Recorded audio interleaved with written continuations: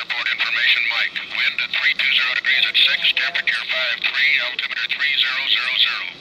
ILS approach runway 26 left, or vector to the traffic pattern in use, landing runways, runway 26 left for large aircraft, and runway 26 right for light aircraft, tower frequency 118.3. Departure runway, runway 35, tower frequency 119.5.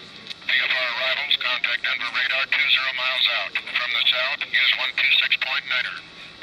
Use 119.3. VFR departures, contact clearance delivery on 125.3 before taxi for radar service frequency. Advise transponder equipped. Inform the controller on initial contact that you have received information, Mike.